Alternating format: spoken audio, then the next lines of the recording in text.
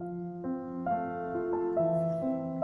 Friends अस्सलाम वालेकुम कैसे हैं आप सब लोग? अल्लाह का शुक्र मैं बिल्कुल ठीक ठाक। आप सबकी दुआएँ मेरे साथ। तो यहाँ पे आप मुझे देख रहे हैं, मैं रेडी हो रही हूँ, बल्कि हो चुकी हूँ और शादी पे जा रही हूँ। तो जस्ट मैंने अपने कपड़े पहने थे, कुछ ज्वेलरी पहनी थी और ये मैंने शॉल ली थी और ये अपनी सैंडल मैंने हाथ में पकड़ ली थी। गाड़ी में रख लूँगी, शादी पे जाकर पहनूँगी। तो यहाँ पे एक्चुअली हम लोगों ने दोपहर तो चार बजे घर से निकलना था और शादी तो रात नौ दस बजे स्टार्ट होनी थी। तो हैदराबाद से कराची जाने में दो से ढाई घंटे लग जाते हैं। अभी हम लोग यहाँ पे रेडी होकर जा रहे हैं। तो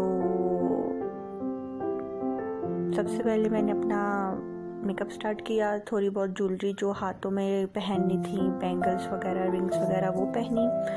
तो ये रहे मेरे बैंगल्स जो मुझे मेरे मम्मा पापा ने दिए थे मेरी शादी पे।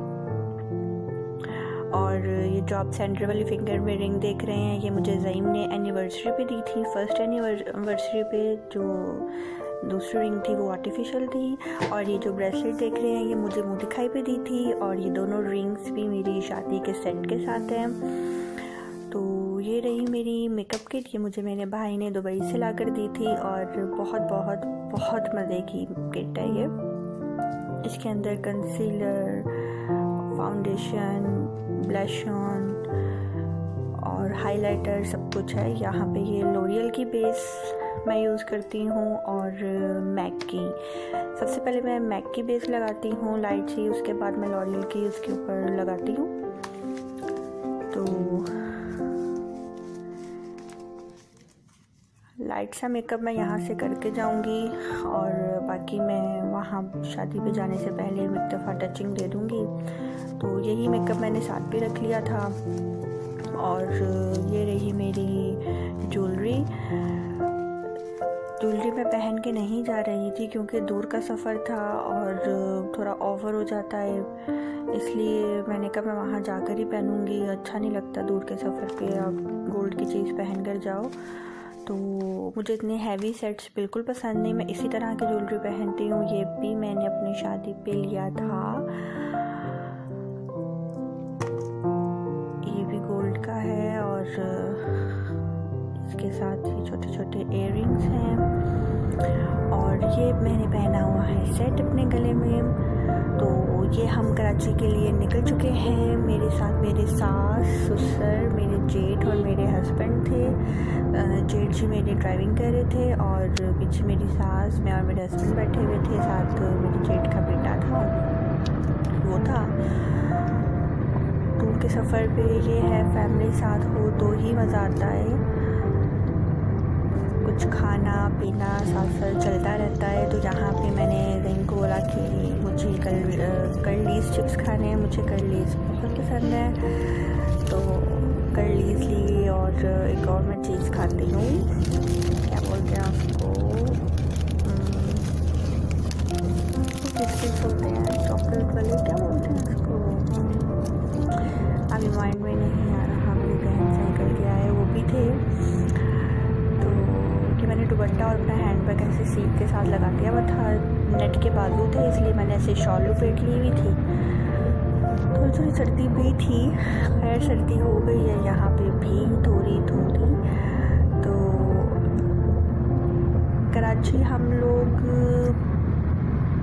छः, साढ़े छः बजे तक पहुँच गए थे। तो सोचा कि क्यों ना हम लोग फिर थोड़ी सी शॉपिंग कर लें। हम लोग फिर मेट्रो गए थे, लेकिन वहाँ पे हर चीज़ का उन्होंने प्राइस टैग लगाए हुए थे। अब तो हर जगह पे ऐसा ही है। प्राइस टैग लगाए हुए थे। हमें लगा कि अच्छा ये भी इतना सस्ता, ये भी इतना सस्ता। खैर, हम लोग शॉपिंग करते रहे। यहाँ पे मैं कारपेट्स देख रही थी। मुझे बहुत अच्छे लग रहे थे। प्राइस प्राइस भी इतने ज़्यादा नहीं थे इन कारपेट्स के। तो thirty percent off fifty percent off ऐसे लगा हुआ था। जो ये साइज़ साइड थी थ्री थाउज़ेंड सिक्स थाउज़ेंड इतने से स्टार्ट हो रही थी। तो विंडो शॉपिंग में हमें लाइक जो पसंद आ रहा था जस्ट हमने वो ही लिया। कुछ कुछ चीज़ें भी आए हैं, कुछ लेकर ही जाते हैं यहाँ से। तो ये कुछ क्रॉकरी का सामान था, ये कुछ कुशन थी रेड कुशन हैं, ये थे लिए ये मेरे आए थे थ्री हंड्रेड नाइन्टी नाइन के। जब हम लोग घर आ गए तो रात को जब हमने लिस्ट देखी, मैं और मेरे हस्बैंड ऐसी चीज़ें बहुत करते कि तो ये चीज़ कितने की आई थी, ये चीज़ कितने की आई थी। तो जब हमने लिस्ट बहुत गौर से देखी, अब यकीन करें फिफ्टी परसेंट टैक्स लाइक अगर मैंने ये क्वेश्चन लिए हैं ना थ्री नाइन्टी नाइन के तो मुझे इसके ऊपर फिफ्टी रुपीज़ टैक्स पे करना पड़ा। मैंने हैंड वॉश लिया, मुझे उसके ऊपर वैसे अगर नॉर्मल हैंड वॉश लें तो 150 का मिल जाता है 150 130 इतने का। तो मुझे उसके ऊपर 50 से 60 रुपीज़ टैक्स पे करना पड़ा। हर चीज़ का उन्होंने टैक्स बढ़ा के रखा हुआ था तो कुछ सस्ता नहीं था यहाँ पे। कुछ सेल नहीं थी यहाँ पे जस्ट टैग लगा कर एंड में जब आप बिल पे करते हैं तो टोटल हम लोगों ने टू थाउज़ेंड टैक्स पे किया था।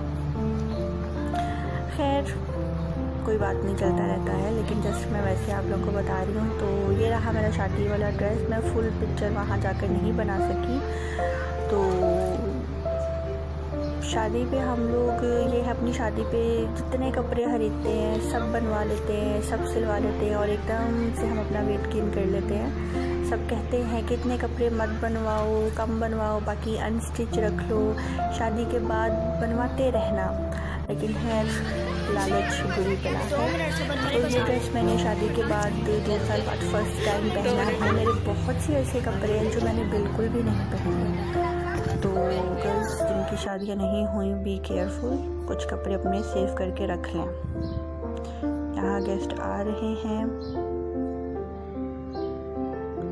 ये था स्विमिंग पूल बैक साइड पे।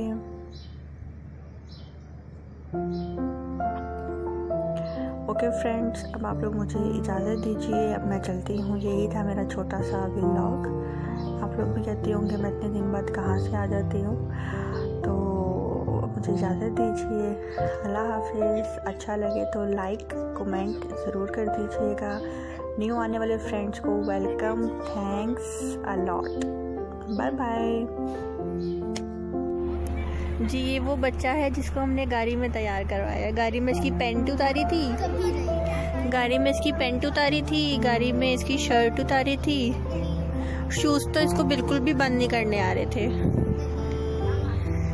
अब मैं व्लॉग में डाल दूँगी। गौर से देखिए, यही है वो शख्स।